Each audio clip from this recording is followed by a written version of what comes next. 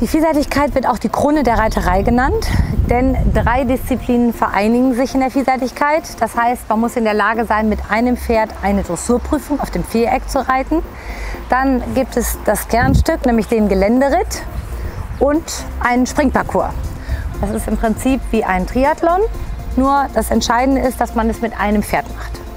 In der Vielseitigkeit kommt es eben auf das Vertrauen an. Reiter und Pferd müssen sich blind vertrauen, denn gerade beim Geländeritt ist es so, dass der Reiter halt häufig den Geländekurs vorher abgelaufen ist.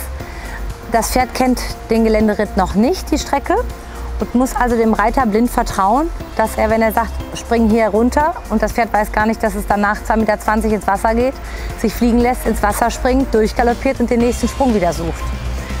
Das Pferd muss sich auf den Reiter verlassen, aber auch umgekehrt. Ich muss auch wissen, dass er springt, sonst würde ich mich auch nicht ins Gelände trauen.